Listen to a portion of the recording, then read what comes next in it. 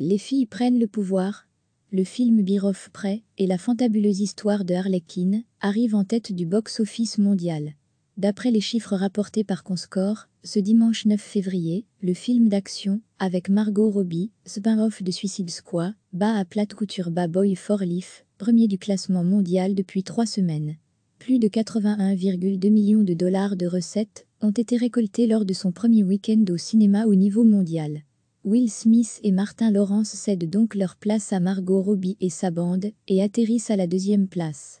Baboy for Leaf, le troisième opus de la célèbre saga lancée en 1995, engrange plus de 27,8 millions de dollars de recettes dans le monde.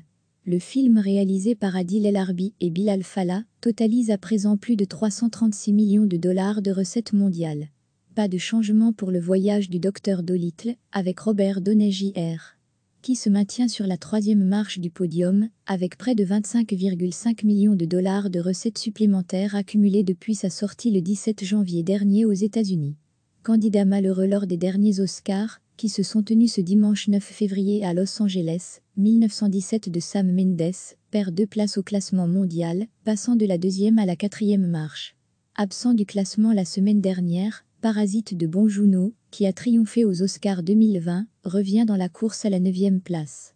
01.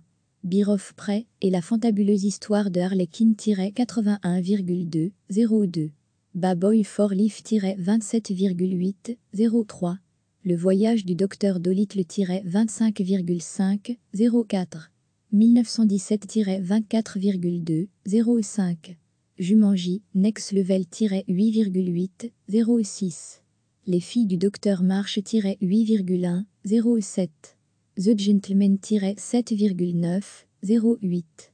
Jojo Rabbit-5,8, 09. Parasite-4,7, 10. The Closet-4,2.